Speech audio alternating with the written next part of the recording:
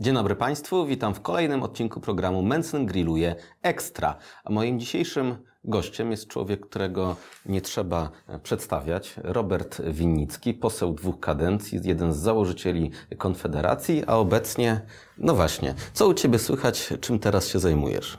Dzień dobry, witam Państwa. No, teraz się zajmuję głównie publicystyką, jeśli chodzi o działalność publiczną ale tak w ogóle to zajmuje się tak naprawdę e, łapaniem, jak to się mówi, balansu życiowego czy zdrowotnego e, po kilkunastu latach e, no, takiej działalności jak powiedzmy zawodowy rewolucjonista zawodowi rewolucjoniści e, mają to do siebie, że e, najlepiej im do twarzy ze śmiercią w młodym wieku. No, ja nie umarłem. Nie udało się. Nie udało się, więc nie zostanę Primo de Riveirą, czy Kondreanu, czy innym Che Guevarą. Natomiast... Czy możesz Stalinem zostać? Natomiast, no właśnie, młodzi rewolucjoniści, znaczy zawodowi rewolucjoniści kiepsko się starzeją, więc w pewnym wieku albo trzeba umrzeć, albo trzeba przestać być zawodowym rewolucjonistą i trochę zmienić swoje życie, złapać trochę tego balansu zdrowotnego i, i, i tym się obecnie zajmuję. Wiodę taki trochę slow life, e, a, a jeśli chodzi o taką działalność publiczną, no to to, do czego wróciłem, to w tej chwili e, publicystyka i, i, opowiadam na swoim kanale, do którego serdecznie Państwa zapraszam. Mm, opowiadam o życiu politycznym, no ale tak w specyficzny sposób. To jest pytanie, którego nie mogę nie zadać, ponieważ każdy były polityk jest o to podejrzewany, bo podobno polityka uzależnia, tak jak inne używki. Więc czy czujesz się uzależniony od polityki i czy zamierzasz do niej wrócić? I dlaczego mówisz, że nie, a myślisz, że tak? powiem, yy, powiem tak. To, co robię, czyli publicystyka na temat polityki, nie różni się wiele od tego, czym zajmujecie się w tej chwili w Sejmie. Wiem, bo 8 lat się tym zajmowałem e, i e, wystąpienia parlamentarne e, obecnie, no to jest głównie też publicystyka, bo macie mały wpływ na stanowienie prawa, a zajmujecie się tym, żeby mówić nawet nie tych, co siedzą na sali, tylko mówicie do wyborców, do swoich wyborców albo do innych wyborców, chcecie coś przekazać ludziom, wrzucacie to w sieć e, lub jest to transmitowane przez jakieś telewizje. W tym sensie działalność parlamentarna, e, debata parlamentarna jest fikcją, czy sta, stała się fikcją uh-huh. i wy robicie publicystykę. E, wy robicie ją w, w parlamencie na tematy, których nie wybieracie, a ja robię to w studio na tematy, które wybieram i uważam za ważne. I to jest pewien komfort, który obecnie posiadam. Powiem Ci tak, że ja też coś tam wiem o nagrywaniu rzeczy na YouTube'a, podobnie jak Ty jestem od jakiegoś czasu YouTuberem. I widzę jednak pewną różnicę pomiędzy komentowaniem pewnych zjawisk, na które nie mam żadnego wpływu, mhm. a jednak wykonywaniem pewnych ruchów, na które mam wpływ. No bo doskonale wiesz, że polityka to nie tylko Sejm, to nie tylko wystąpienia, nie tylko ta publicystyka, ale też realne działanie, budowanie jakiejś partii, tworzenie jakichś środowisk, zdobywanie zasobów, które potem można wykorzystywać w polityce. I czy tego Ci nie brakuje? Ty jesteś znacznie dłużej youtuberem niż ja, a ja byłem znacznie dłużej działaczem społeczno-politycznym niż ty. Więc yy, to wszystko się zgadza, co powiedziałeś. Natomiast y, obecny, że tak powiem, stan y, mojego zdrowia, mojego życia, również osobistego, rodzinnego jest taki, że musiałem zwolnić, ale dodatkową okolicznością jest fakt, że uważam pewne rzeczy dotyczące systemu politycznego zawarte przemyślenia i opisania. Y, działając politycznie nie byłbym w stanie tego zrobić. Także chcę nakreślić pewną agendę, która się przed nami rysuje, bo moim zdaniem jesteśmy w trakcie zmiany systemu politycznego i nie tylko w Polsce, ale właściwie w całej tej zachodniej demokracji liberalnej, czy demokracji walczącej, jak y, mówi premier Tusk. Y, I, i to, to uważam za, za swoje zadanie na ten czas. Może teraz wytłumaczę Państwu, czemu zaprosiłem Roberta Winnickiego. Zauważyłem już dawno temu, że to wygląda tak, że jak ktoś odejdzie z polityki, to nagle mądrzeje, nagle zaczyna mówić ciekawe e, rzeczy, nagle patrząc na takiego polityka zajmującego się bieżączką, to on się zajmuje tymi głupotami, tymi bobrami, alkotubkami, nieistotnymi, nieistotnymi rzeczami. Jak odchodzi z polityki, patrzy na to wszystko z dystansem, jest uwolniony od konieczności komentowania tych wszystkich e, bieżących bzdur, to nagle ma czas, żeby zacząć czytać książki, żeby oglądać jakieś wartościowe rzeczy, żeby mieć przemyślenia trochę istotniejsze niż to, kto komu krzywdę zrobił w danym jakimś wystąpieniu w jakiejś e, telewizji. No i Robert Winicki założył kanał na YouTube, gdzie właśnie o takich rzeczach mówi, gdzie można e, posłuchać pewnych wartościowych przemyśleń dotyczących polityki gospodarczej, dotyczących historii, więc chciałbym przede wszystkim Państwa zaprosić do tego, żeby subskrybować kanał Roberta Wińskiego i posłuchać tego, co ma e, do powiedzenia. I z tego właśnie powodu pomyślałem, że możemy e, porozmawiać również o tematach, które poruszasz na swoim e, mhm. kanale, bo póki co jeszcze mój kanał jest większy od Ciebie, więc mam nadzieję, że trafi to dzięki temu do większej grupy Jasne. odbiorców. Powiedz mi, jakie masz przemyślenia po tych już prawie dwóch i roku dotyczących konfliktu na Ukrainie. Gdzie to zmierza i dlaczego? No moim zdaniem zmierza to do końca i nieprzypadkowo e, jesteśmy kilka dni po tym, kiedy Władimir Załański ogłosił swój plan na zakończenie wojny. E, ogłosił to nie dlatego, że ten plan ma jakieś szanse na realizację, ale ogłosił je, ten plan w parlamencie ukraińskim dlatego że on doskonale wie, że sami Ukraińcy są bardzo wyczerpani, bardzo zmęczeni tą wojną i że Ukraina potrzebuje pokoju. E, I tutaj e, bym powiedział, e, pierwsza kontra wobec dominującej w Polsce narracji, która mówi o tym, że szybki pokój no to jest coś, co jest w interesie Rosji, tak? Federacji Rosyjskiej, bo Ukraina to musi odzyskać wszystkie swoje terytoria, które są obecnie przez Rosję zajęte. No prawda jest taka, że to Ukraina jest bardziej wyczerpana wojną, ma mniejsze zasoby e, i jest w związku z tym e, no bardziej e, podatna na, na wszelkie przesilenia na froncie. To Ukraina może szybciej przegrać tę wojnę niż Rosja. W takiej jesteśmy dzisiaj sytuacji. Więc Mój, mój pogląd na tę rzeczywistość jest taki, że w przybliżeniu tak będzie wyglądała faktyczna granica ukraińsko-rosyjska, gdzie znajdzie się linia frontu e, w ciągu najbliższych miesięcy, w ciągu najbliższego pół roku, roku. E, przez e, sformułowanie granica nie mam na myśli czegoś, na co zgodzą się obie strony. Mówię raczej o granicy de facto. Taką granicę mamy między Koreami, między Koreą Północną a Południową. 70 już lat to jest linia rozgraniczenia. Tam nie ma pokoju. I trudno mi sobie wyobrazić, żeby e, między Rosją a Ukrainą e, nastąpił pokój e, w, w obecnej rzeczywistości, w obecnej sytuacji. Ukraińcy nie mają siły, żeby odbić tych terytoriów, które, które im Rosja zabrała. Rosjanie nie mają siły, żeby de, dojść do Dniepru. Natomiast Ukraińcy są bardziej wyczerpani wojną. W związku z czym y, jest w miarę szybkie, szybkie odprężenie, zawieszenie broni jest w ich interesie. Oczywiście ten plan, który przedstawił Załęski jest pewnym też zagraniem wobec Zachodu, y, takim wabank. Y, jest trochę głosem takim, no, będziemy was rozliczać potem, przerzucaniem odpowiedzialności. E, natomiast, y, no co jest istotne, to istotne jest to, że chyba y, sam się stał Zełenski trochę zakładnikiem własnej narracji z 22 roku. Bo kiedy Rosjanie zaatakowali zbyt małymi siłami w stosunku do tego, jakie mieli plany Ukrainę w 22 roku, no to oni, Ukraińcy mieli kilka błyskotliwych sukcesów, prawda? Zniszczenie tych kolumn pod Kijowem, odbicie Charkowszczyzny, E, wyparcie ich na południowym froncie e, na drugą stronę Dniepru, no to wszystko się zgadza. Ale wtedy Załęski zaczął mówić o tym, że muszą odzyskać Krym, muszą odzyskać wszystkie swoje terytoria. I to uczynił się trochę zakładnikiem e, tej swojej retoryki. Teraz próbuje z tego wybrnąć, bo nic nie wskazuje na to, żeby front miał zostać przez Ukraińców przełamany tylko e, potężne załamanie jakieś wewnętrzne w Rosji, na które też się nie zanosi, mogłoby do tego doprowadzić. Dlatego dzisiaj realny scenariusz jest taki, że de facto granica między Rosją a Ukrainą będzie taka, jaka, jak wyznaczy ją mniej więcej linia frontu. Dlaczego Ukraina powinna się na to zgodzić, to rozumiem. Ten kraj ma teraz olbrzymie problemy e, gospodarcze, olbrzymie problemy demograficzne. Jest całkowicie uzależniony od pomocy z Zachodu. To znaczy tak naprawdę nawet nie Ukraińcy będą decydować mhm. o tym, kiedy ta wojna się skończy, bo Stany Zjednoczone w każdym momencie mogą zakręcić kurek i będzie po zabawie. Ale dlaczego Rosjanie mieliby się na to zgodzić? Rosjanie zgodzą się tylko jeśli e, koszty zostaną e, podniesione tego, co, co robią. Znaczy, oni ponoszą te koszty. E, sankcje nie działają tak, jakby sobie to Zachód wyobrażał. Zresztą no to jest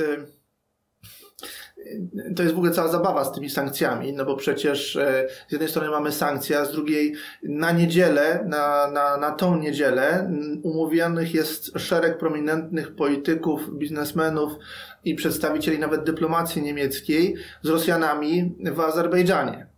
E, więc te sankcje są no, nawet tak obchodzone, powiedziałbym, w miarę systemowo. To, to widać w statystykach, że nagle gwałtownie wzrosła wymiana handlowa pomiędzy Niemcami a różnymi krajami Azji Środkowej. Tadżykistanem, tak. No to jest, to jest ten, ten model. Więc, natomiast Rosjanie realnie są odcięci od wielu technologii. Rosjanie sprzedają swoją ropę e, poniżej e, wartości. Rosjanie rzeczywiście cierpią i Rosja realne straty i to bardzo duże ponosi, poza tym ta wojna bardzo dużo kosztuje. Natomiast rzeczywiście to pytanie, które zadałeś jest bardzo sensowne, bo Rosja przestawiła się bardzo mocno, no nie jest to jeszcze gospodarka wojenna sensu stricto, ale jest to gospodarka przestawiona na tory wojenne. Jest to rozpędzona machina wojenna. I moim zdaniem jedynym argumentem, który mógłby e, zagrać jest e, e, coś, co spodziewam się, że, że na przykład Trump mógłby zrobić. To znaczy wyposażyć Ukraińców w taką broń, która i, i dać im takie możliwości działania na terytorium Rosji, które, yy, które rzeczywiście zaczęłyby bardzo dolegać stronie rosyjskiej. Dlaczego stwierdzam, że Trump mógłby to zrobić? Dlatego, że moim zdaniem Trump, yy, jest oskarżany o to, że doprowadzi do, nie, do niekorzystnego pokoju na rzecz Ukrainy, tak? Niekorzystnego dla Ukrainy pokoju. No ten Trump E, rzeczywiście jakby jest też jego agenda i, i, i, jego zwolenników jest taka, żeby, żeby zakończyć tę wojnę, e, no ma podejście bardzo proste do, tych, e, do tego typu tematów. Położy jakąś ofertę na stole, a potem zacznie grać z tym, kto będzie chciał grać razem z nim.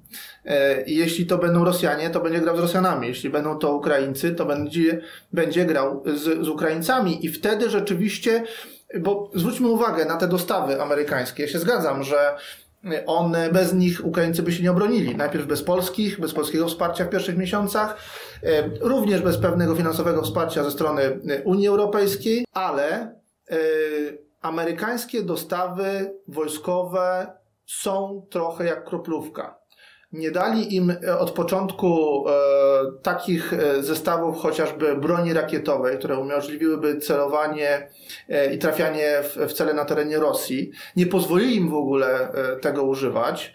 E, w związku z czym ta, ta, ta kroplówka amerykańska no nie jest taka jednoznaczna. No dobrze, ale rzeczywiście Stany Zjednoczone wysyłają tyle broni, żeby Ukraina nie przegrała, ale też żeby nie wygrała tej mhm. wojny. I demokraci Próbowali wysłać więcej i szybciej, ale powstrzymali ich republikanie. I tak. teraz twierdzi, że jeżeli Trump e, wygra, to dlaczego nie mieliby Amerykanie wstrzymać na przykład dostaw na Ukrainę? Trumpa popiera mnóstwo ludzi, którzy twierdzą, że e, Zaweński, sam Trump tak mówił, że Zaweński to jest handlowiec, że przyjeżdża tak do tak Stanów jest. Zjednoczonych i zabiera ze sobą tyle pieniędzy, ile tylko e, potrzebuje. Republikanie mówią, że nie mają tyle pieniędzy, żeby finansować Ukrainę. Różnego rodzaju mm, celebryci, tiktokerzy, blogerzy, youtuberzy w Stanach Zjednoczonych wspierający Trumpa narzekają na to, że nie ma pieniędzy na ratowanie Amerykanów, którzy mhm. są poszkodowani po huraganie, ale na przykład na Ukraińców pieniądze są. Więc nie wydaje się zupełnie oczywiste, że oni ich będą finansować. I jeszcze drugie pytanie. Skoro Rosjanie są przystawieni na gospodarkę wojenną, produkują te czołgi, amunicję w w sposób znacznie więcej tego produkują niż Europa czy Stany Zjednoczone razem wzięte. My nie jesteśmy przestawieni na gospodarkę wojenną, u nas się w zasadzie nic nie zmieniło. To niektórzy ludzie pytają, ok, jeżeli doprowadzimy do zawieszenia broni jakiegoś rozejmu mhm. na Ukrainie mhm. i Rosjanie nagle nie będą zajęci Ukrainą, to mając tą gospodarkę wojenną, tyle wojska, sprzętu, to może czym, kimś innym się tym zajmą. Państwa bałtyckie. Na przykład, albo Polską. Więc pytanie, czy to na pewno dla Polski jest dobry scenariusz? Więc po pierwsze, y, odpowiadając na to pytanie o, o Trumpa, Ukrainę, Amerykanie jako państwo, państwo amerykańskie mnóstwo swojej nie tylko y, pomocy finansowej, militarnej zaangażowało na Ukrainie, ale przede wszystkim swojego prestiżu międzynarodowego mhm. zaangażowało na Ukrainie. Gdyby Trump wycofał się z Ukrainy w sposób taki, że poniosłaby ona totalną klęskę e, i na przykład no, doszłoby, nie wiem, do ofensywy rosyjskiej sięgającej Dniepru, zajęcia Kijowa, zmiany władzy w Kijowie, e, to po pierwsze zmieniałoby układ sił w Europie, co godzi bezpośrednio w interesy amerykańskie, ale w sensie osobistym, prestiżowym dla Trumpa to byłby taki sam obrazek, jak e, wycofywanie się z Afganistanu przez Bidena. Tylko, że to się wydarzyło, więc pytanie, skoro to raz się wydarzyło, czemu nie ma prawa drugi raz się wydarzyć? To raz, a dwa, skąd wiemy, że nie dojdzie do powtórki z tego resetu e, Obamy i z wycofania się wtedy Stanów Zjednoczonych z Europy, z oddania Europy Niemcom i Rosjanom? Nie twierdzę, że to jest całkowicie niemożliwe. Uważam jednak, że jest to mało prawdopodobne, zważywszy na to, że Rosjanie obecnie no jednak grają w jednej lidze z Chińczykami. E, I e, Amerykanie, znaczy sytuacja, w której e, na Ukrai Ukraina jest w stanie tak naprawdę angażować rosyjską uwagę czy to aktywną, czy to w razie zawarcia jakiegoś rozejmu, że tak powiem, bierną, ale jest w stanie, jest tym graczem.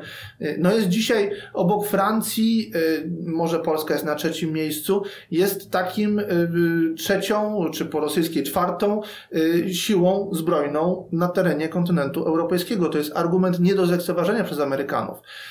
Rezygnując z Ukrainy, nawet Trump otwiera sobie potencjalnie właśnie problemy w NATO otwiera sobie problemy w całej Europie. Więc uważam to za mało prawdopodobne. Nie niemożliwe, ale za mało prawdopodobne. Nigdy nie mów nigdy w, w polityce, w polityce zagranicznej. E, to jest jedna rzecz. I, I, uważam, że ta klęska, e, bardzo dotkliwa, podważająca tak naprawdę wiarygodność Amerykanów, to ona będzie nie tylko odczytywana w Europie czy w Polsce nad Wisłą, ona będzie odczytywana w Tokio, ona będzie odczytywana w Seulu, ona będzie odczytywana na Tajwanie.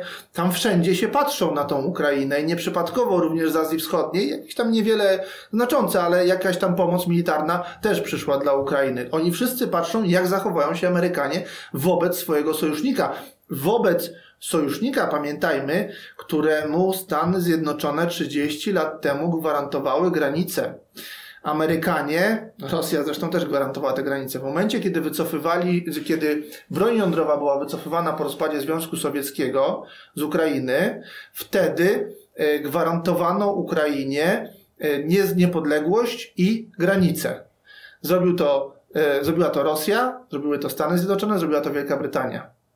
E, zawsze się trochę gwarantuje. Zawsze polityce. się trochę gwarantuje. No niemniej jednak y, to ma bardzo duże znaczenie. Amerykanie są wypchnięci z bardzo wielu obszarów, y, tracą wpływy na Bliskim Wschodzie, mają problemy i muszą blokować Chińczyków na Pacyfiku, właśnie w Azji Wschodniej sytuacja, w której jest państwo, któremu wystarczy niewielką część amerykańskiej produkcji zbrojeniowej dostarczyć, żeby ono powstrzymywało Rosję i Rosja nie mogła otworzyć Amerykanom drugiego frontu z NATO, drugiego wobec Pacyfiku, jest moim zdaniem bardzo cennym aktywem, które również Trump i jego administracja będą rozumieć. Czyli z punktu widzenia Stanów Zjednoczonych nie opłaca się przegrana Ukrainy. Oni muszą tak. zrobić na tyle, żeby Ukraina nie miała poczucia, że mocno przegrała e, tę wojnę. Y co będą myśleli Ukraińcy na ten temat, to prawdopodobnie Ameryka w guzik No to, ale co Japończycy będą myśleli Ale na ten temat jest Japończycy, co istotniejsze. wszyscy na świecie poza tym będą myśleli, y, to już Amerykanów powinno obchodzić. A co Polaków powinno e, obchodzić? Na ile my powinniśmy się angażować e, w konflikt na Ukrainie? Na ile my powinniśmy im pomagać? I czy rzeczywiste, czy rzeczywiście polskie obecne podejście, że my im dajemy wiele rzeczy, nie oczekując nic w zamian, jest sensowne? I czy rzeczywiście powinniśmy się tak zachowywać, bo wojna, bo nie wypada od Ukrainy czegokolwiek teraz oczekiwać? Jest absolutnie bezsensowne, y, tym bardziej, że mm, trzeba zdawać sobie sprawę, że Ukraińcy w tym są podobni, ukraińska polityka, czy w ogóle myślenie, y, zwłaszcza na wschodzie, w tych republikach postsowieckich, jest bardzo podobne do tego, jak prezentują Rosjanie.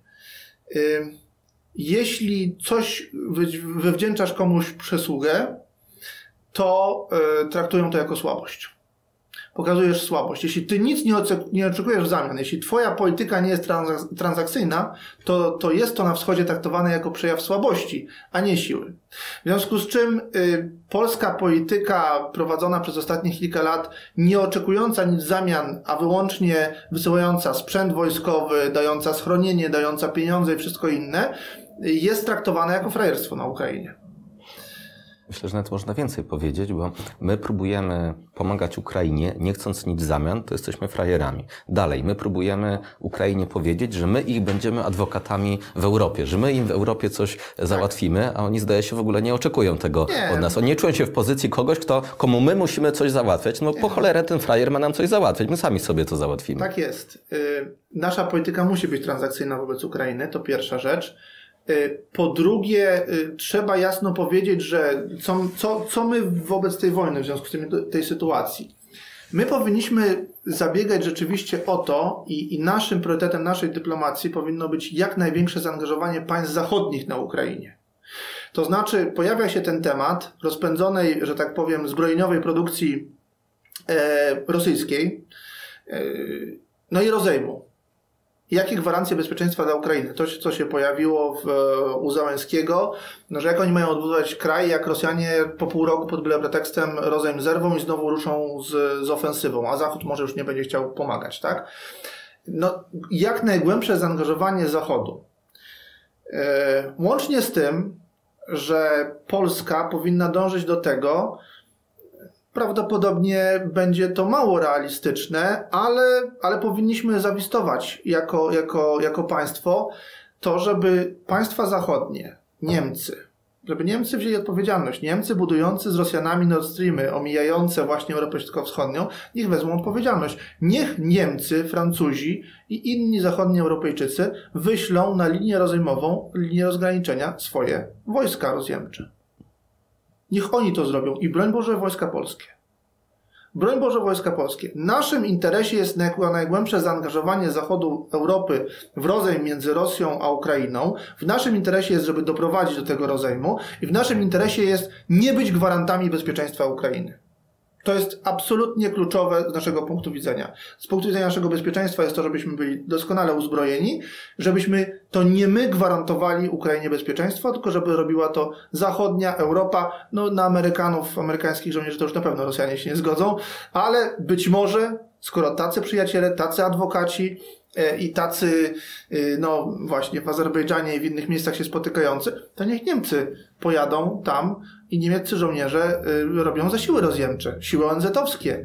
Y, To jest plan, który moim zdaniem Polska powinna podnosić y, jako możliwy do realizacji, zamiast trzymać się kurczowo, że prowadzimy tę wojnę do momentu, w którym Ukraińcy odzyskają wszystkie swoje terytoria, bo nic nie wskazuje na to, żeby odzyskali. Na razie tracą to terytorium. Oczywiście rosyjskie postępy są w ślimaczym tempie, ale no to, to, to jest te parę kilometrów tygodniowo e, linia frontu się przesuwa na niekorzyść dla Ukraińców. A zaobserwowałeś może po tym prawie roku e, po wyborach jakąś zmianę w polskiej e, polityce? Czy rząd Donalda Tuska względem Ukrainy, Niemiec, Stanów Zjednoczonych zachowuje się tak samo jak rząd PiSu, czy są jakieś różnice? Więc rząd y, Donalda Tuska względem Ukrainy dobrze czyta badania opinii publicznej i dlatego mamy na razie retoryczne tam y, spory ze stroną ukraińską y, i, i tyle na razie mamy.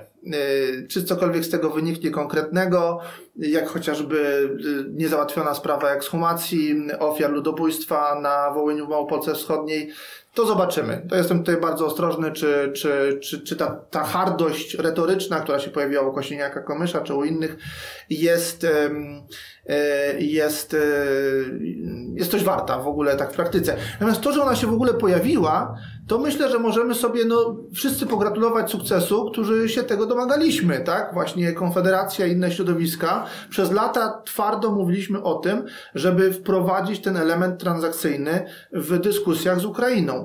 I to jest niewątpliwy sukces, że nastroje społeczne w tym zakresie e, no, zmusiły rządzących do co najmniej zmiany retoryki. Z tej retoryki będzie można ich przynajmniej teraz rozliczać.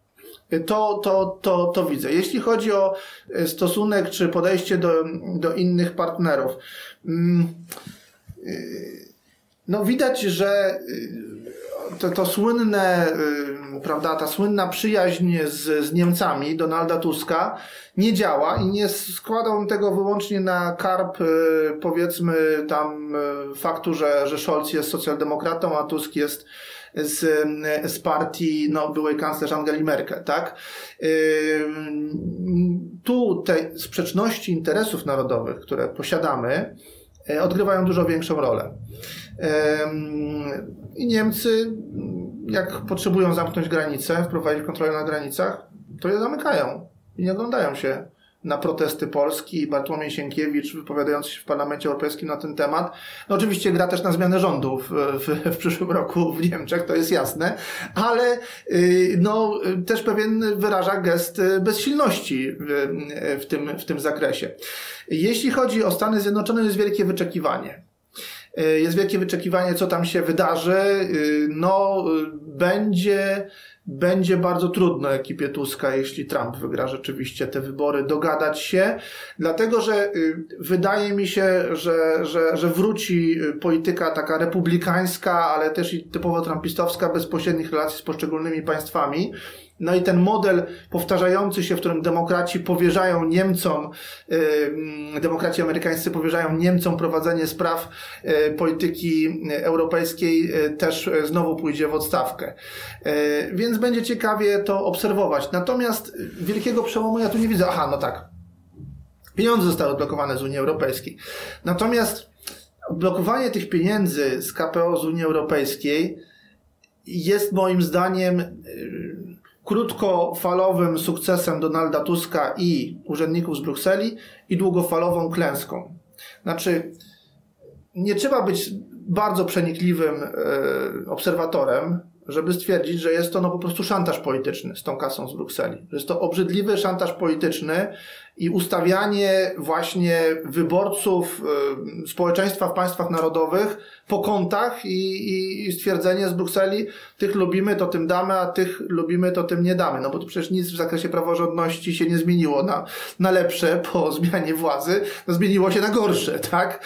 Y, kolejne instytucje są przejmowane na rympał i mocą uchwały Sejmu, tak? No za moich czasów tak nie było, że jak byłem w Sejmie, że, że uchwałami się zmieniało całe instytucje i tak dalej, nie?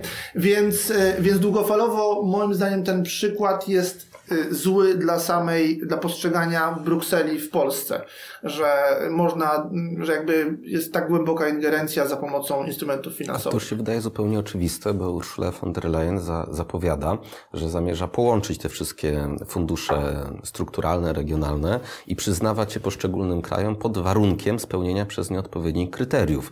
Na przykład pieniądze na rolnictwo będą pod warunkiem, że będzie odpowiednia równość wszystkich płci w rolnictwie, albo że odpowiednio LGBT LGBTQIA+, zostaną docenieni w polskim rolnictwie, tak. a rolnictwo będzie odpowiednio ekologiczne, to wtedy być może jakieś pieniądze nam dadzą. Czyli Unia Europejska dostrzegła po wielu latach, że jest w stanie tymi pieniędzmi szantażować nie tylko to, kto ma rządzić w danym kraju, ale w jaki sposób ma rządzić, to w sprawach, które daleko wykraczają poza kompetencje, które zgodziliśmy się na przekazanie Unii Europejskiej. Tak, przy czym to jest, postawię tu jeszcze gwiazdkę w tym, w tym, w tym całym e, stwierdzeniu, że jak ktoś y, jest y, bardzo nie pomyśli Komisji Europejskiej, a jednak potrafi grać z Berlinem, to może liczyć na e, większe pobłażanie.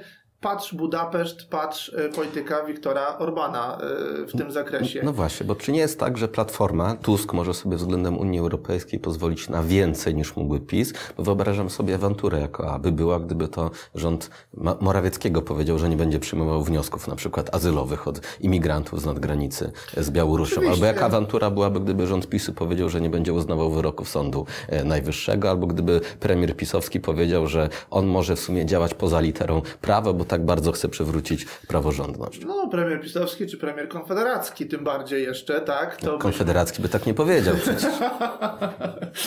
więc, więc e, oczywiście, to jest, to, jest, to jest jasne i oczywiste, natomiast zwracam uwagę y, i, i te groźby, było już wykluczanie Austrii 20 lat temu, e, natomiast można złagodzić tę brukselską retorykę, no właśnie grając w jednej drużynie z interesami Berlina. I tutaj jeśli chodzi o, o właśnie Węgry, które w Polsce są moim zdaniem totalnie niezrozumiane, ani na prawicy, ani na lewicy. Lewica oczywiście uważa rząd Wiktora Orbana za samo zło i, i coś, coś, coś przeklętego, co, e, co powinno być zniszczone. E, prawica zachwyca się Orbanem, bo jest taki konserwatywny i super. Natomiast na arenie międzynarodowej Węgry są najbliższym sojusznikiem Niemiec w Europie Środkowo-Wschodniej. I to Viktor Orban bardzo jasno zdefiniował co najmniej już w 2018 roku. Nie znam wcześniejszych jego wystąpień w tym zakresie. Wiem, że takie expose o polityce zagranicznej mm, po trzecich wygranych wyborach w 2018 przedstawił i powiedział bardzo jasno, Punktami odniesienia są Berlin, Moskwa i Stambuł. Węgry leżą pomiędzy tym trójkątem i tutaj musimy układać sobie relacje. I jest zabawne czasami, jak e, e, Orban z taką marsową miną e, no, stawia pewne tezy, które są określane jako prorosyjskie w, w, w odbiorze europejskim i niedostrzeganie, że, te, te, że Orban głośno mówi to, co Niemcy myślą i robią jest, jest takim, e, jest właśnie taką forpocztą pewnej polityki niemieckiej e, w, w, w Unii Europejskiej. I w związku z tym wiele rzeczy uchodzi płazem, bo mają nawet z kanclerzem totalnie przeciwnych poglądów socjaldemokratycznych jest pewne strategiczne porozumienie, również ono dotyczy gospodarki, Węgry jako montownia niemieckiego przemysłu i tak dalej, ale, ale jest porozumienie strategiczne na linii Berlin-Budapeszt, niezależnie jaki byłby premier, czy jaki byłby kanclerz. Trzeba rozumieć tę rzeczywistość, a nie pewnymi kalkami, które z Polski znamy, wyłącznie operować. Ciekawe też jest to, że Orban w Polsce jest przedstawiany prawie jak ruski agent, faszysta, taki pisowiec na sterydach, mhm. a ten sam Orban i jego partia Fidesz do 21 roku była w IPP, w partii europejskiej, której przewodniczącym był Donald Tusk, tak której jest. główną siłą jest niemieckie CDU. Tak jest. No i, a to się wszystko zgadza. No bo jakby jeśli Orban jest y, ruską onucą, mówiąc tą poetyką, to kim jest Angela Merkel? układająca Nord Streamy y, po dnie Bałtyku z Putinem. Y, już nie mówiąc o SPD, no bo niemiecka scena polityczna w tym zakresie, no to jest taka, że, że CDU jest niechętnie prorosyjskie w swoich, w swoich działaniach i w swojej polityce, a SPD no jest y, tak po prostu prorosyjskie w swoich działaniach i w swojej polityce. Więc no tylko, że są, nie, nie są to partie tak konserwatywne jak, jak, jak Orbana na Węgrzech, z innego pewnego pnia się wywodzące, w związku z tym no, mogą sobie na więcej pozwolić. No właśnie, jeszcze taki jeden wątek, który przenikał, pojawiał się parę razy w Twojej wypowiedzi i głównie pojawia się też na mhm. Twoim kanale. Mamy rząd Donalda Tuska, który zupełnie wprost mówi, że nie będzie przestrzegał prawa. To mhm. nieuznawanie, niedrukowanie w ogóle wyroków Trybunału Konstytucyjnego, niezależnie od tego, czy tam rządzą legalni prawowici uznawani przez jedną czy drugą stronę e, sędziowie, nieuznawanie wyroków Sądu Najwyższego, siłowe przejęcie TVP, siłowe przejęcie prokuratury.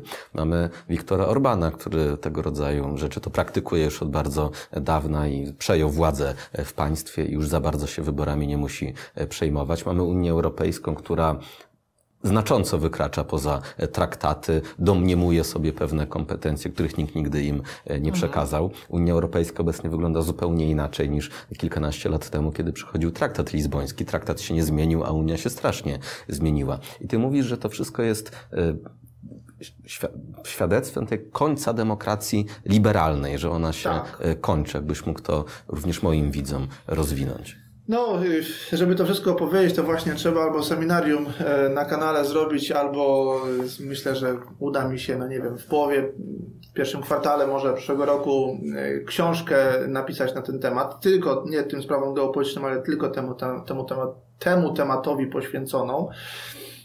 I e, demokracja liberalna y, to jest z jednej strony y, akt głosowania, wybory powszechne, powszechne prawo wyborcze, a z drugiej strony są to pewne mechanizmy, regulacje, czyli tak zwana mityczna praworządność, tak, która ma rządzić. I teraz przyjmijmy, yy, przyjmijmy wersję taką, że rzeczywiście ta praworządność i, i w ten sposób, jak demokratyczni liberałowie by chcieli, to zawsze tak wyglądało i tak powinno wyglądać pewien świat idealny, przejmijmy ich. No więc z tego punktu widzenia wychodząc, no to właśnie nie działa. E, mamy z jednej strony e, uzurpację, o której powiedziałeś, ze strony instytucji unijnych, kompetencji, których nikt im nie nadał. Ale co jest istotniejsze i dlaczego e, ta demokracja liberalna się kończy, jest to, że demokracja potrzebuje wspólnoty żeby y, demokratycznie zarządzać, czyli żeby wspólnie podejmować decyzje, tak? Jesteśmy y, w parlamencie, tak? Reprezentantami narodu. Musimy wspólnie podejmować jakieś decyzje dla dobra wspólnego. To jest istota demokracji. To musimy mieć jakieś minimum tego, co nas łączy. Musimy mieć minimum podstawę wyobrażenia o świecie, o tym, co jest złe, o tym, co jest dobre. Możemy się różnić w milionie tematów szczegółowych, ale pewne podstawowe wyobrażenie o państwie, czy powinno być suwerenne, czy nie jest suwerenne, o tym, e, jak wyglądają relacje międzyludzkie, o tym, czym jest prawo, o tym, czym, jak wygląda rodzina i tak dalej, no to powinni, musimy mieć jednak wspólne, żeby coś wspólnie ustalać, bo jeśli to, co ty uważasz za totalnie złe, ja uważam za totalnie dobre, to jak my mamy się dogadać na e, temat podejmowania wspólnych decyzji dla dobra wspólnego. O czym, o czym opowiadam w tej książce? Opowiadam o tym, jak demokrację niszczą trzy zjawiska. E, rewolucja kulturowa, czyli podstawy w ogóle społeczeństwa niszcząca.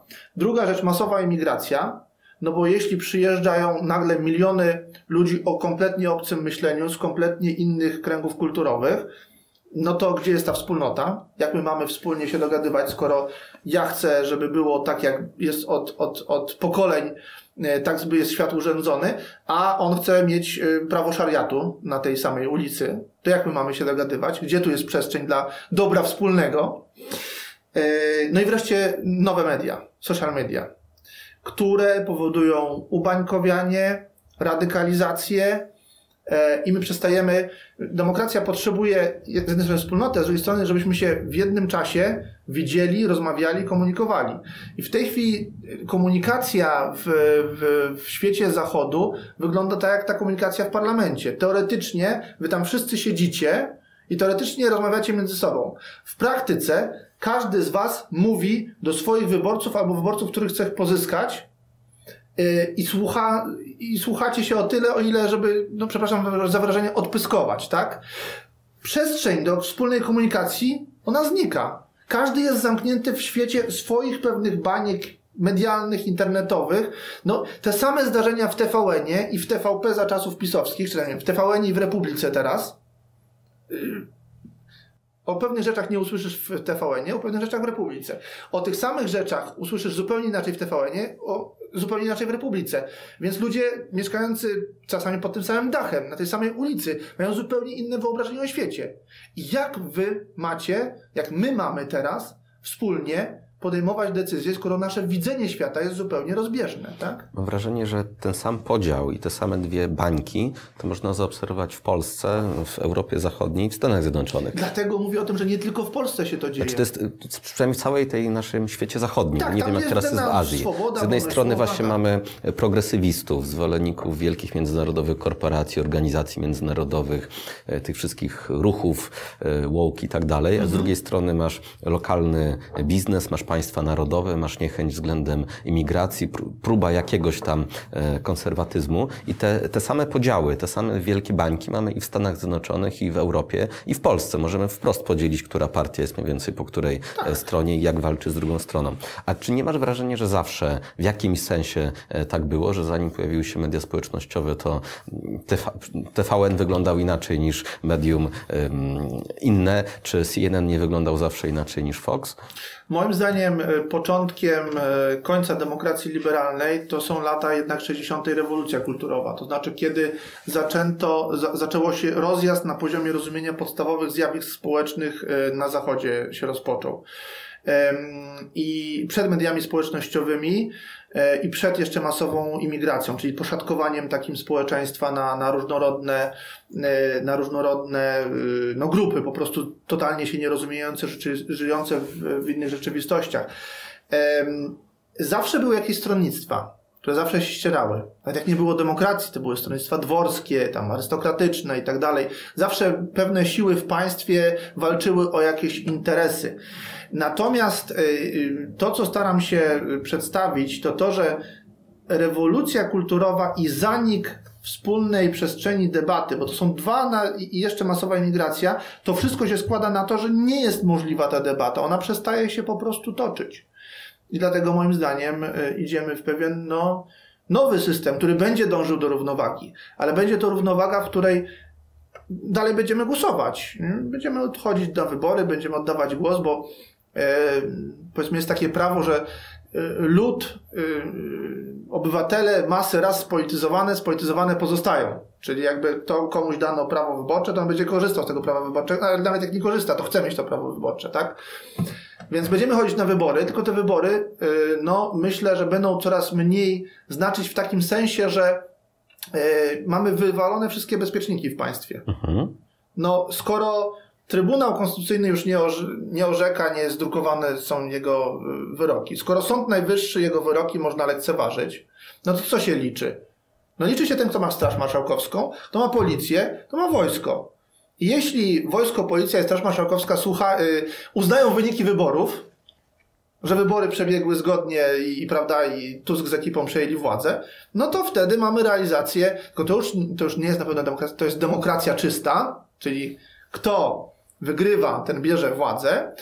No i teraz trzeba, gdzie są, y, gdzie wobec tego szukać jakiegoś oparcia, jakichś bezpieczników? No obawiam się, że te bezpieczniki w najbliższej dającej się przewidzieć przyszłości będą wyłącznie w elicie politycznej. To znaczy jakość elity politycznej, jakość ludzi, którzy będą rządzić, E, ich horyzonty myślowe, ich e, rozumienie dobra wspólnego i tak dalej, będzie wyznaczała standard tego, e, czy, czy w państwie, czy są jakieś ograniczenia, czy nie ma żadnych ograniczeń. Tak? Czyli ograniczenia będą tylko w głowach polityków, już nie będą ograniczeni przepisami prawa czy konstytucji. Tak, moim zdaniem ku temu idziemy.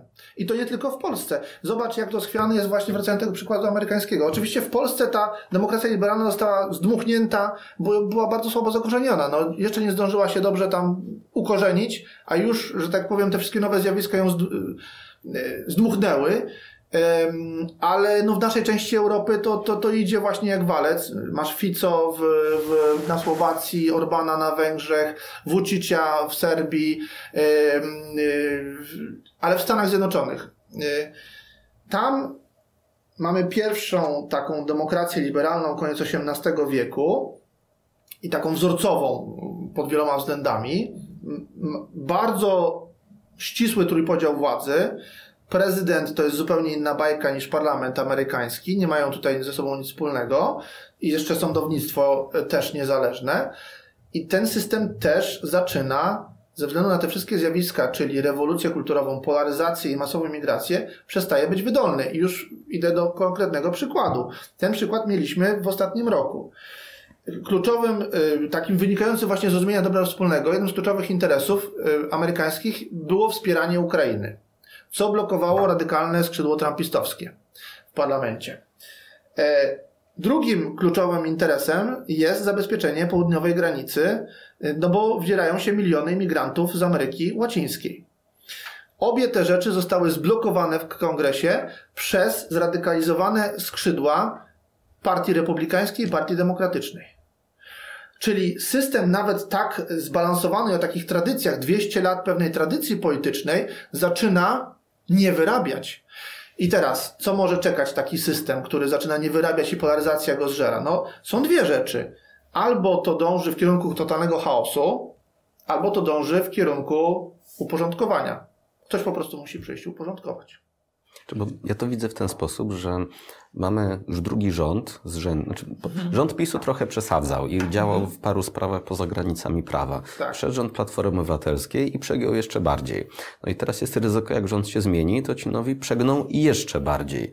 I to raczej idzie w kierunku uporządkowania tego, ale w sposób a całkowicie niedemokratyczny. Więc dlaczego mówisz, że to dalej będzie demokracja? No, formalnie. Formalnie będą. Ale tak jak w Imperium Rzymskim, że bardzo długo po upadku Republiki Rzymianie dalej myśleli, że żyją jeszcze w Republice? No, a, a cesarz był pierwszym obywatelem i tak dalej. No, y, pewne formy, pewne pozory zostaną zachowane. W sensie głosowanie będzie zachowane, tak? No, akt, akt wyborczy w postaci głosowania będzie zachowany, moim zdaniem, bardzo, bardzo długo. Natomiast, y, no, masz rację, no, Kaczyński robił te przekroczenia, też paru nie wydrukowali tych, y, tych postanowień Trybunału Konstytucyjnego, y, naginali w pewnych obszarach. Ale mam wrażenie, że trochę się jeszcze wstydził tego, co robi. Mam wrażenie, że trochę, tro, trochę miał takie poczucie lekkie, lekkie że wie, wie, że robi źle. No, obecna ekipa już w ogóle się nie wstydzi i robi to y, y, bardzo, bardzo otwarcie. No i Jarosław Kaczyński chyba też to skomentował w ten sposób y, już w ubiegłym roku, jak było te, te wejścia rympałkowe do prokuratury i do, i do telewizji, że no jak wrócimy do władzy, jeśli wrócimy do władzy, no to, y, to pójdziemy jeszcze dalej, tak? Y, I, i Uważasz, znowu- to za słuszny kierunek? Uważam za słuszne dla każdej siły politycznej, która myśli odpowiedzialnie o państwie, żeby myśleć dzisiaj o tym, jak władzę w państwie zastabilizować jak, jakie kadry, jaki, to, to, czego my nie mamy dzisiaj w państwie, to jest brak profesjonalnego yy, deep state'u. I ja uważam, że odbędzie się to w ten sposób, że ktoś siłowo wprowadzi ten deep state, to jest wersja optymistyczna, że ktoś przejmie władzę, przejmie większość i ten deep, deep, state porządny Polsce zrobi. Taki polski, narodowy, patriotyczny deep, deep state, e, a nie, prawda, jakiś, e, jakichś ciemnych interesów. I to jest wersja optymistyczna. Bardzo optymistyczne. Bo wersja pesymistyczna jest taka, e, że pójdziemy w chaos. Dzisiaj jesteśmy, no patrz co się dzieje w sądownictwie. Jesteśmy w, w, w, u progu ogromnego chaosu, który, jak doskonale sobie zdaję sprawę, ma też skutki gospodarcze. Znaczy sta, stabilność wymiaru sprawiedliwości, pewność wyroku sądowego to jest jedna, jeden, jedna z, jeden z warunków, żeby państwo było atrakcyjne jako miejsce, gdzie się inwestuje, gdzie się pieniądze lokuje. Jeśli mamy e, totalny rozpierdziel w wymiarze sprawiedliwości i za chwilę każdy będzie mógł podważać legalność tego sędziego albo tamtego sędziego, tego wyroku albo tamtego wyroku. E, e, można podważać delegacje prokuratorów, bo ci są od, od Barskiego i zależnie któremu adwokatowi będzie wygodnie przyjmować e, linię, że tak powiem, pisowską czy platformerską. Czy Korneluk delegował, czy Barski delegował. No to jest rozwalenie podstawowych funkcji państwa. I to musi zostać uporządkowane jak najszybciej w interesie wszystkich obywateli. Natomiast, no tak, uważam, że bezpieczniki będą w elicie politycznej. Oby one, I oby one były, i obyśmy taką elitę y, w państwie zbudowali, y, a nie w systemie politycznym. A system polityczny do, dożywa swoich dni. No, ledwo się w Polsce zaczął, wypo, wypączkował i, i już moim zdaniem dożywa swoich dni. To wi- widzimy te procesy w Polsce, na Węgrzech, Słowacji, w Stanach Zjednoczonych, czy w Europie Zachodniej, przykład w Niemczech jest tak samo? No co do zasady tak. To znaczy y, widzimy, mm, że y, ten chyba najstabilniejszy z dużych państw system polityczny, bo to trzeba powiedzieć, że po 1945 roku no ten system, w którym albo CDU, albo SPD zazwyczaj z jakimiś koalicjantami rządzą, no to jest, to, to jest y, bardzo stabilny system. I to 16 lat rządów Kohla, 16 lat rządów Merkel, nie? No to, to, to widzimy, to, to się rzadko zdarza nawet w Europie, taka, taka stabilizacja. I to się zaczęło też chwiać. Yy, Jesteśmy rok przed wyborami do Bundestagu w Niemczech i dzisiaj nie wiadomo, czy partia współtworząca Zieloni koalicję no, y, może mieć problem z przekroczeniem progu. Na pewno w landach wschodnich nie przekracza progu wyborczego. Słabi są też ci FDP, ci liberałowie współrządzący. Słaba jest SPD bardzo premiera Scholza, rośnie AfD. No i to, a AfD jest odpowiedzią na masową imigrację, na polaryzację i na zielone polityki Unii Europejskiej. Na zieloną politykę, którą Niemcy sami dekadami forsują i którą y, zaczęli przegrywać. To znaczy, stworzyli reguły gry, którą sami przegrywają teraz w, w obrocie międzynarodowym, chociażby z Chińczykami i, do, i cały czas nie rozumieją, y, co się dzieje. Cały czas potrafią mm, no, zrobić takie rzeczy, na przykład, no bo mamy w tej chwili wojny handlowe, które się rozpętują na całym świecie, zwłaszcza pomiędzy tymi najsilniejszymi centrami gospodarczymi, czyli Chinami, Europą i Stanami Zjednoczonymi. E, no i interes niemieckiego, e, taki krótkofalowy, niemieckiego biznesu na przykład samochodowego jest taki, żeby mógł dalej sprzedawać czy wręcz produkować w tych Chinach. Wydaje się, że ten interes większości gospodarek europejskich jest taki, że Europa musi się bronić przed e, produkcją chińską, tak? No i w, Niemcy przegrywają na własnym podwórku yy, tak naprawdę rywalizację w zielone. Grę w zielone przegrywają na własnym podwórku, chociażby jeśli chodzi o elektryki. Się wydaje, że nie tylko Niemcy, ale cała Europa, cała Unia Europejska przegrywa tą rywalizację. W Europie jest coraz bardziej jak w skansenie. Patrzyłem na dane gospodarcze, to od dwudziestu paru lat dystans pomiędzy Stanami Zjednoczonymi a Europą cały czas rośnie.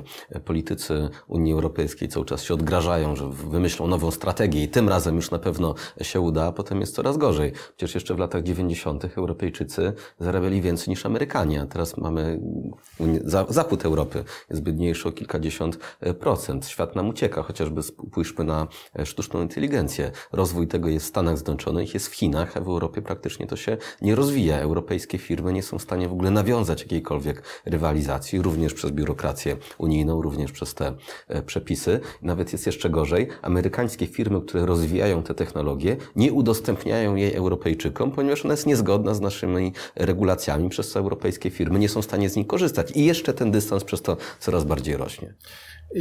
Jest tak, jak mówisz, i dlaczego tak się dzieje?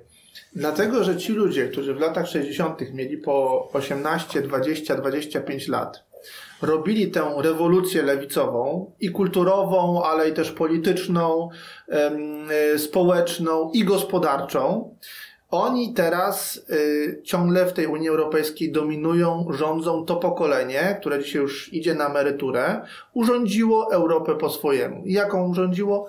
Lewicowo, y, zielono oczywiście i to w sposób utopijny zielono, bo ja nie, nie jestem przeciwko dobrze rozumianej ekologii, ale to, co, to, co funduje nam Unia Europejska jest, jest zieloną utopią. Y, I Europa y, dzięki działaniom tych ludzi, którzy dzisiaj są już w wieku tam przedemerytalnym czy emerytalnym, Europa zmienia się, tak powiedziałeś, w skansen, w taką ciągle dostatnią, e, ciągle e, jakby w miarę bezpieczną, chociaż już na ulicach zachodnioeuropejskich miast się to zaczyna e, radykalnie zmieniać, taką, taką właśnie dom emeryta taki, taki dom spokojnej starości dla pokolenia 68 e, roku. W to zamienia się e, Europa. No tylko gdzie tu jest przyszłość e, dla, dla nas, dla naszych dzieci, dla kolejnych pokoleń? Tego nie ma i wydaje mi się, że o ile są pewne niebezpieczeństwa wynikające z rozchwiania systemów politycznych w Europie, czy, czy z tej rewolucji politycznej, która idzie też przez różne państwa europejskie, o tyle no, y, jednak osłabienie tego, tego zielonego, lewicowego reżimu, no to, to jawi się jako szansa. Dlatego, że Europa w ten sposób zaskorupiona, w, ty, w tej mentalności, w tej mentalności, która boi się chociażby tych nowych technologii. Te nowe technologie oczywiście no, stwor- nagrałem też odcinek na kanale o tym, że Matrix zorganizujesz go sobie w domu, tak? Y, gdzie, dokąd nas prowadzi sztuczna inteligencja, co będzie miało też swoje skutki polityczne, bardzo doniosłe. To, to, to rzeczywiście są rzeczy, które trzeba rozumieć, ale jeśli się nie ma nad nimi kontroli, nie uczestniczy się w tym wyścigu, no to co Europa będzie mogła w tym zakresie e, zrobić? No to, to przypomina trochę taką sytuację e, tych robotników XIX-wiecznych, którzy niszczyli maszyny, żeby nie stracić pracy w swoich manufakturach.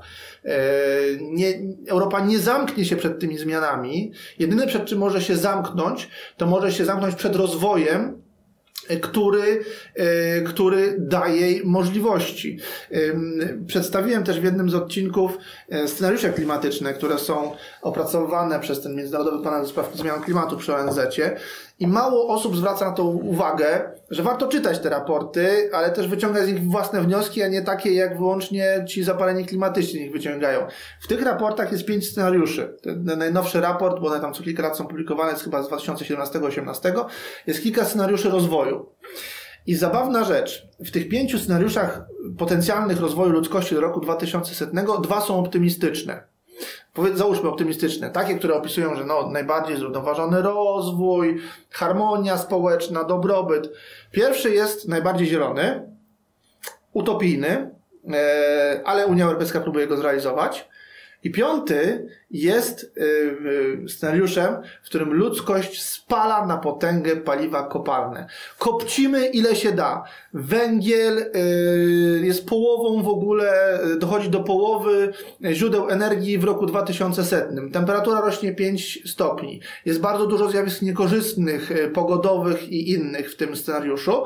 I jednocześnie jest to z dwóch najbardziej optymistycznych scenariuszy. Dlaczego? Bo piszą ci autorzy tego raportu Międzynarodowy Panel Spraw Zmian Klimatu. Ten na który Jakub Wiech się cały czas powołał. Tak, ten sam, ten sam.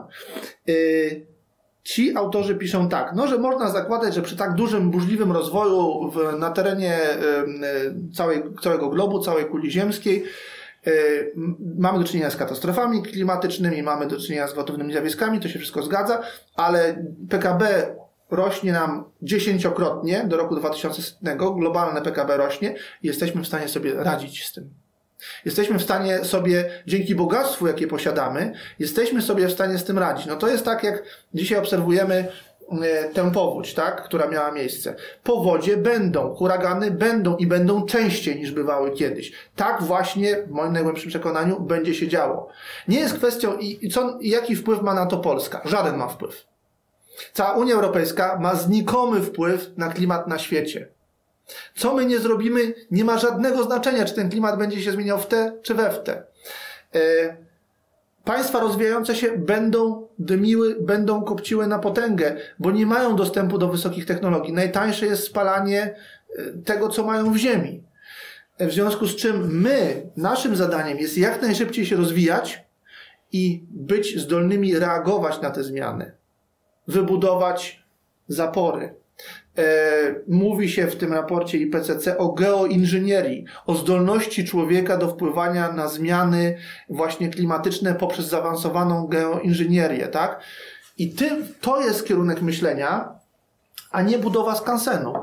A dzisiaj rzeczywiście, no to pokolenie 68 zafundowało nam w Europie skansen e, i, i przełamanie tego jest w ogóle kluczową rzeczą. Tak jak przełamanie dla naszego pokolenia w Polsce e, też dominacji, no, nazwijmy umownie naszego 68, tak, pokolenia jest kluczową rzeczą, żeby ruszyć e, kraj do, do wykorzystywania jego zdolności, tak samo w skali europejskiej. Jest konieczny demontaż tego systemu, idący z państw narodowych, bo to znikąd idąc nie, nie, nie przyjdzie. Także o ile powinniśmy martwić się tym, że niemiecka gospodarka dostaje zadyszki wskutek własnych ideologicznych tych zafiksowań, o tyle pewien rozstrój na niemieckiej scenie politycznej chyba powinniśmy temu kibicować, bo jakby kierunek, w którym obrały dotychczasowe elity jest po prostu fatalny. To nie jest tak, że ten scenariusz, w którym Europa staje się spokojnym domem starości, domem dla emerytów, to jest bardzo optymistyczny, no bo jeżeli spojrzymy trochę inaczej na tą Europę, to widzimy rzesze imigrantów, którzy nie chcą żyć w domu spokojnej starości. Widzimy Afrykę, gdzie jest boom demograficzny, a jednocześnie bieda. No i ci ludzie będą chcieli szturmować Europę. Europa w tym czasie jest rozbrojona, nie ma też już swojej silnej kultury, ma olbrzymie problemy gospodarcze. Są ludzie, którzy we Francji, w Niemczech, we Włoszech, którzy widzą, co się dzieje, stąd wzrosty e, dla, e, teraz dla Frontu Narodowego, dla Zjednoczenia Narodowego, tak? Dla EFD tak. w Niemczech czy we Włoszech Włoszech i czy to nie robi się taki tygiel, gdzie wszystko nagle zaczyna buzować e, oddolnie i to nie wygląda jak dom spokojnej starości? Zielony dom spokojnej starości to jest w głowach tego pokolenia 68, które urządza Europę. To jest moim zdaniem, to, to jest taka pewna wizja utopijna, taka trochę jak z broszur Świadków Jehowy, tak? Ten lew obok baranka i prawda, utopijna wizja raju, raju na ziemi.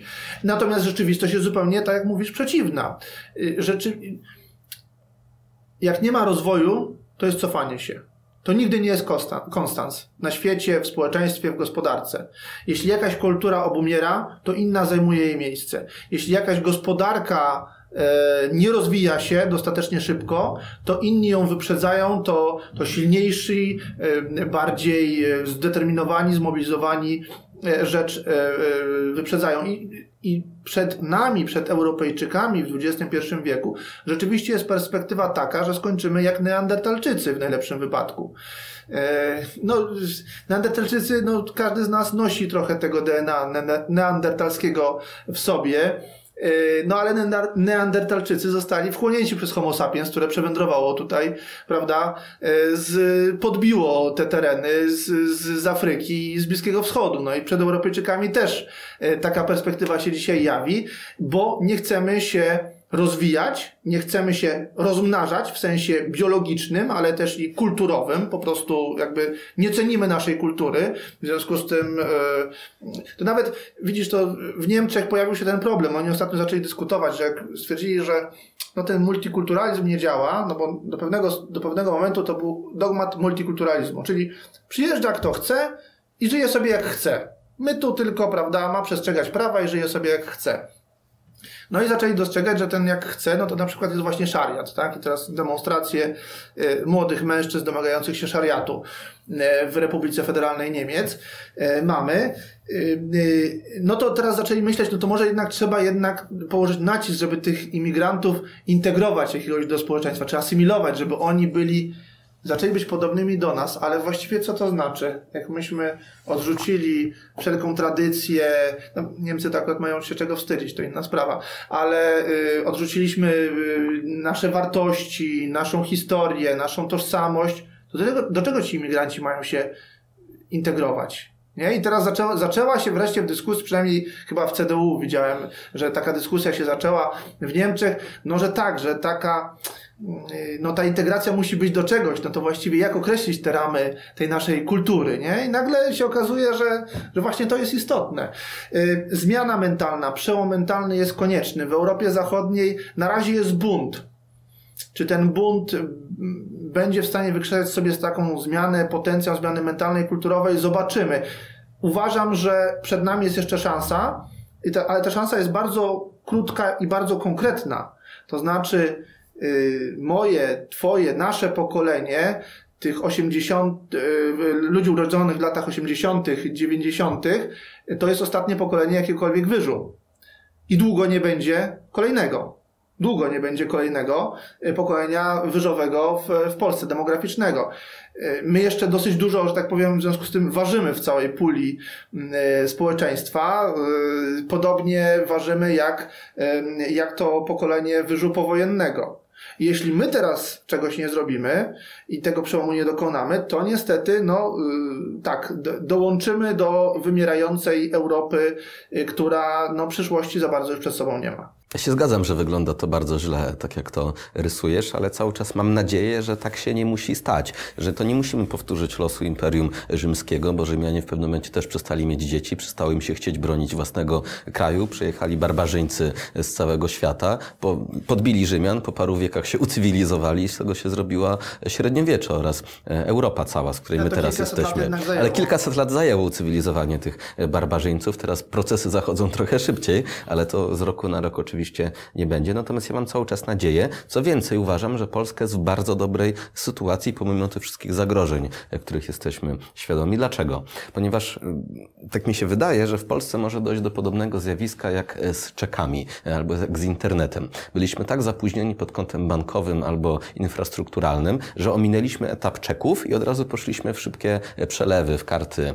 I okazało się w pewnym momencie, że nasz system bankowy jest dużo bardziej rozwinięty niż Europy Zachodniej, bo przeszedł przeskoczyliśmy pewien proces. Tak samo chociażby z szybkim internetem w Rumunii, gdzie on był na dużo lepszym poziomie niż w Niemczech albo we Francji, bo przeskoczyli pewien, proces, pewien etap modemów.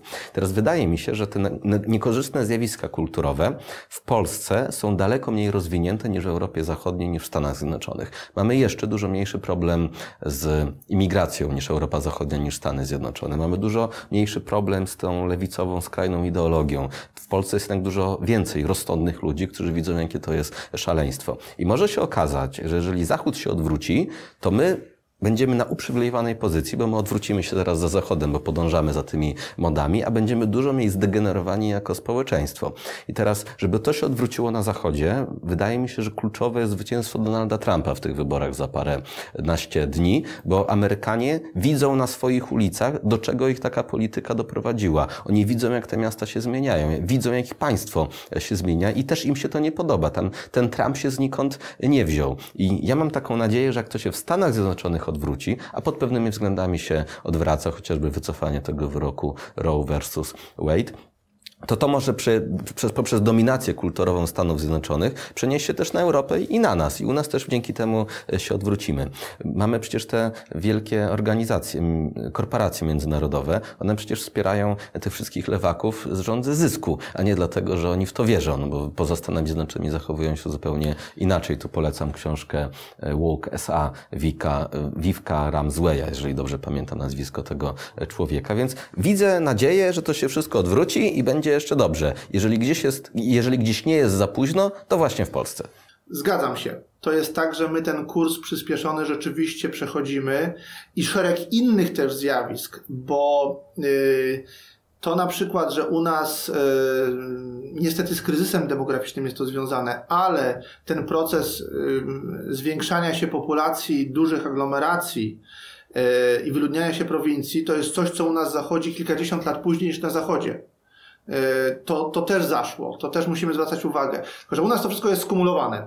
Rewolucja kulturowa, przenoszenie się ludzi z, z prowincji do miast, czy w obrzeża właśnie aglomeracji miejskich i jeszcze te zmiany polityczne. Więc my przechodzimy rzeczywiście taką terapię szokową, wstrząsową w tym zakresie. Zgadzam się, że posiadamy w tym zakresie e, dużo lepsze predyspozycje niż ciągle większość państw Europy Zachodniej, żeby odwrócić ten trend, odwrócić ten proces. I tak wydaje mi się, że sukces Trumpa potencjalny będzie tu e, bardzo dużo ważył. E, nieprzypadkowo e, Elon Musk się tak zaangażował w, w tę kampanię Trumpa, bo też widać, postrzega to, na pewno ma jakieś swoje interesy z tym związane, ale widzi to jako pewną bitwę cywilizacyjną, e, która odbyła się, no właśnie, chociażby na, poziomu, na poziomie Sądu Najwyższego. I co możemy na dzisiaj o tym powiedzieć? No możemy powiedzieć, że idą w web-web. E, nie w popular vote. E, w popular vote pewnie Trump przegra znowu. Natomiast jeśli chodzi o głosy w kolegium elektorskim, czyli kilka tych swinging states, e, stanów, które nie są pewne, nie są, e, mogą przypaść jednej lub drugiej stronie, idą w tej chwili web w web i nie jesteśmy w stanie powiedzieć, co się wydarzy 5 listopada. Mieliśmy najpierw e, totalną, e, totalną przewagę Trumpa, kiedy widać było, że Biden po prostu nie ogarnia, kiedy to już w tym roku no, jakby jasnym się stało dla każdego obserwatora, że Joe Biden ma problemy z podstawową percepcją tego, co się dzieje dookoła. E, potem e, chwilę Kamala Harris e, jakby wskoczyła na pewną falę nadziei, która jest związana z, z tym, że no, zmienili tego Bidena.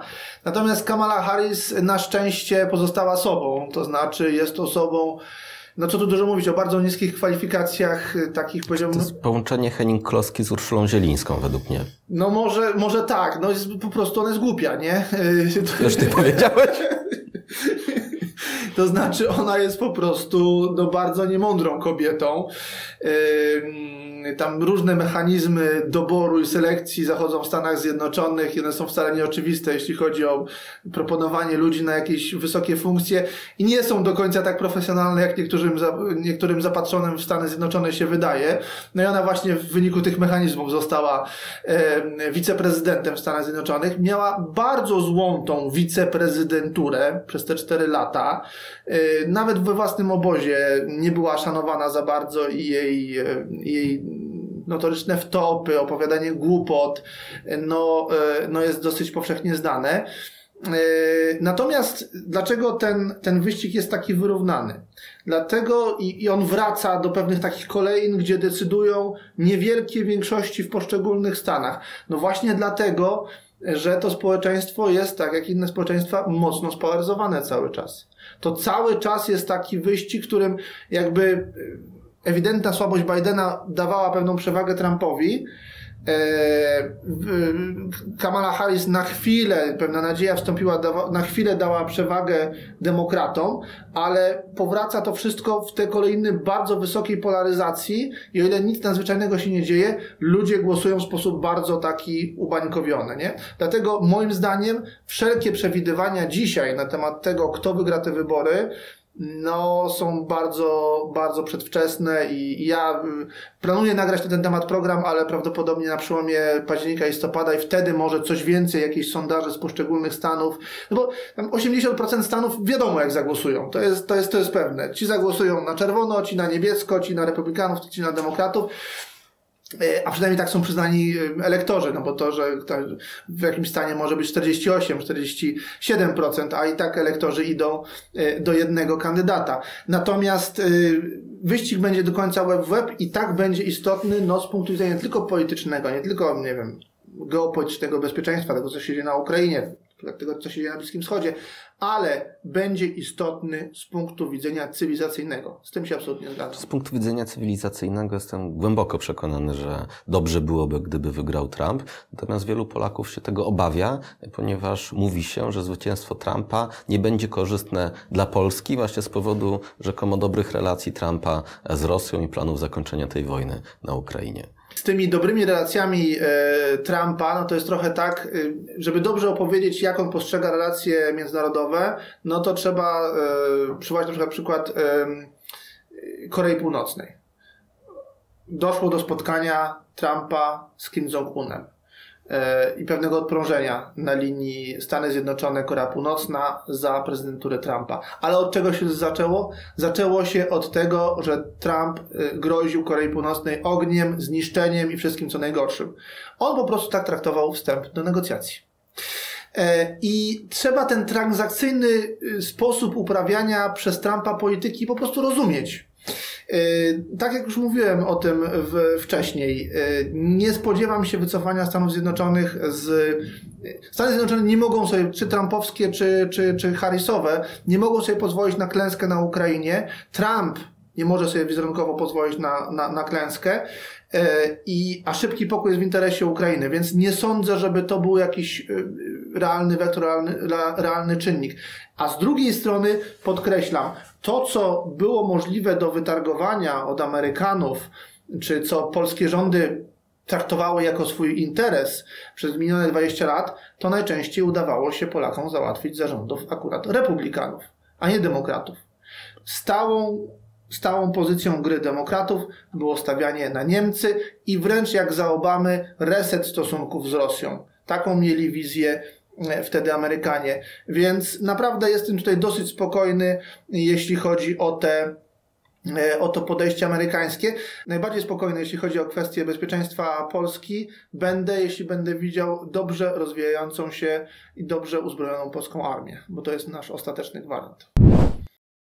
Na wynik wyborów w Stanach Zjednoczonych nie mamy oczywiście żadnego wpływu, ale dalej mamy wpływ na to, co się dzieje w Polsce. I faktem jest, że żyjemy w bardzo ciekawych czasach i to niekoniecznie jest dobra wiadomość, natomiast to od nas będzie zależało, co z tym naszym państwem się stanie, jak Polska będzie wyglądała za 10, 20, 30 lat, jak naszym dzieciom, wnukom tu się będzie żyło, więc wydaje mi się, że takim dobrym przesłaniem do państwa jest to, że się angażujcie, walczcie, starajcie się na ile możecie w ramach swoich możliwości, bo tu jeszcze nic nie jest przesądzone, ta historia jeszcze nie została spisana i naprawdę wszystko może się e, wydarzyć.